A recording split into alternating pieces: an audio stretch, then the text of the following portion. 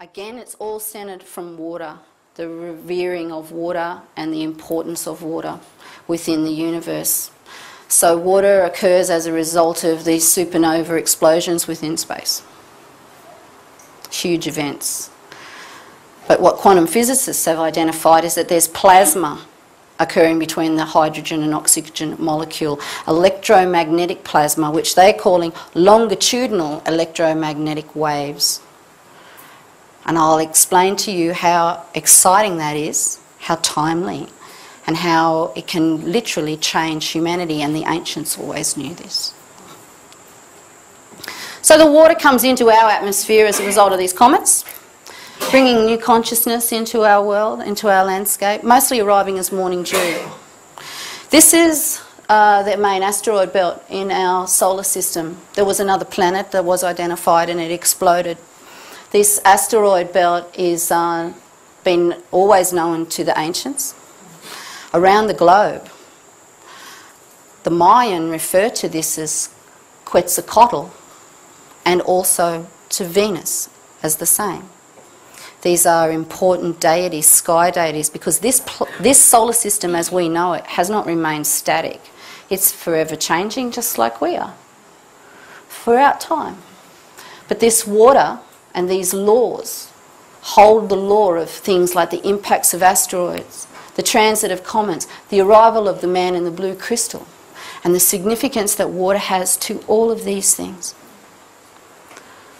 This is a beautiful painting that was done by Ainslie Roberts in the 1950s, and it's um, of the Seven Sisters Lakes in South Australia and the waters from space, God from God. So in the law, we say we all come from the eye of the emu, which is the Big Bang. So this is the Coalsack Nebula here. This is the Southern Cross and the two pointers, the Southern Cross and the two pointers. We all come from the west that this explosion occurred in this part of the galaxy that created our solar system. This is within their law, within their culture. Most of our uh, Western Hemisphere cultures only go back, you know, a couple of thousand years. These guys go back to the creation of the galaxy. Interestingly, China launched a probe about three years, four years ago, it is now, that's right, 2009, um, to go and search for the origin of the galaxy of this solar system. And they sent it there. And it's due to arrive now. So it's quite timely allowing this material to be talked about. So this emu is often seen, this in the petroglyphs. This is it in a portion of the Milky Way. It's by no means the full Milky Way. It's just part of it. Now these um, dust clouds or shadows in the Milky Way have been referred to as black holes in the past, but they're not. They go in the infinite. And you open up into, uh, well, they're finding huge amounts of water in space. Actually, NASA released papers two years ago to show that um, 40 tonnes of water bombards this planet every year. Water doesn't originate from this planet, it comes from the sky. The elders always knew that. This is our local emu dreaming. A big rock stands in the sea six miles from Byron Bay. A man called Ngutjagari made that rock. Ngutjagari is our father. He's the father of the whole world. He's the man we've got to be afraid of, and no matter what we do wrong or where we do it, he'll know. And no man has seen him. Ngutjagari had a cave in the rock, and after he made the rock, he told the four fairy women, Gillimavel, to stay there. Then he travelled over the mountains with his dog, Karang. He had a walking stick, and when he put the stick into the ground, he left behind a stone like a basin. And as he travelled, he left the bean trees, and he named the different places on his journey. He named Woodenbong, Nathambang. Ngutjagari has big rocks out in the Bugor, the sea, where he lives today. Out in the caves in the sea, Ngutjagari had four daughters and one son. And his son is called Yabarain.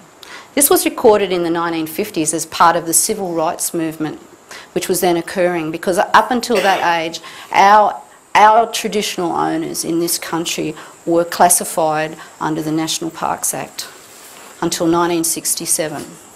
In order to overthrow that grave and horrible uh, classification, they talked about their law.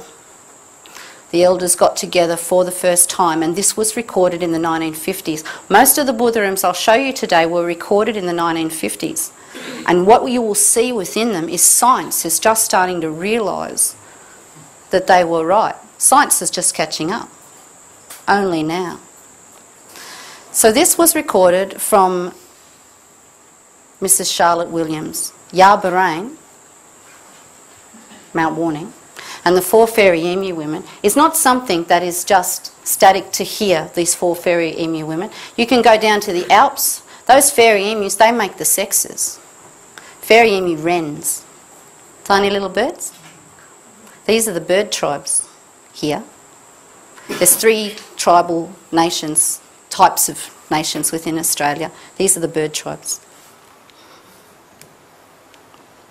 Granny Charlotte Williams, who is the grandmother of these people, was an amazing woman. She was the great granddaughter of King Brown of Woolumba.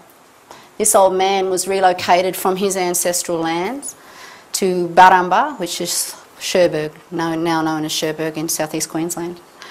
And um, they did that. They would relocate people. Was part of the dispersal processes and the fragmentation. So for this, for the, this law to survive, it went underground.